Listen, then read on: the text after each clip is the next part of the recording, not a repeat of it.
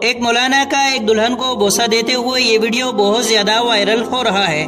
اور کچھ لوگ تو اس ویڈیو کو سہارا بنا کر مسلمانوں کو غلط باتیں تک کہہ رہے ہیں۔ ایک شخص نے تو یہاں تک کہہ دیا کہ مولوی نکاح کے بعد اپنا حصہ لیتے ہوئے۔ اور دوستوں مسلمانوں کے خلاف بہت سی غلط باتیں بعد میں اس شخص نے کہی۔ بہرحال دوستو جب اس ویڈیو کی تحقیق کی گئی تو تحقیق یہ سامنے آئی کہ یہ ویڈیو پاکستان کی ایک شادی حال کا ہے اور جو اس لڑکی کا نکاح پڑھا رہے ہیں وہ اس کے فادر یعنی ابو ہے نکاح پڑھانے کے بعد انہوں نے اپنی بیٹی کا ماتھا چوما اور کہا کہ اب میری بیٹی مجھ سے جدا ہو جائے گی۔ اللہ تعالی ہمیشہ اسے خوش رکھے۔ دوستو، یہ اوریجنل ویڈیو پاکستان کے ایک انسٹاگرام پلیٹ فارم پر اپلوڈ کیا گیا۔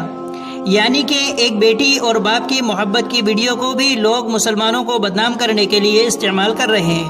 اور اس طرح سے پچھلے کچھ سالوں سے کئی ایسی ویڈیو کو توڑ مروڑ کر مسلمانوں کے خلاف پیش کیا گیا ہے اور مسلمانوں کو بدنام کرنے کی کوشش کی گئی ہے، جو کہ غلط ہے۔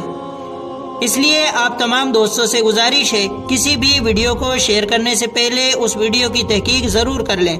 چاہے وہ ویڈیو کسی مسلمان کا ہو یا پھر کسی اور دوسرے دھرم کے ماننے والوں کا ہو۔ اللہ تعالیٰ سے دعا ہے کہ اللہ تعالیٰ تمام مسلمانوں کی حفاظت فرمائے اور دوستو، آپ تمام بھائیوں کا اس ویڈیو کے بارے میں کیا کہنا ہے کومنٹ باکس میں اپنی قیمتی رائے ضرور دیں۔ ویڈیو کو لائک کریں، دوستوں کے ساتھ شیئر کریں۔ اسی طرح کی وائرل، اسلامک اور نالجبل ویڈیو کو حاصل کرنے کے لیے ہمارے چینل کو ضرور سبسکرائب کریں۔ ملتے اگلی ویڈیو میں، تب تک کے لیے فی امان اللہ۔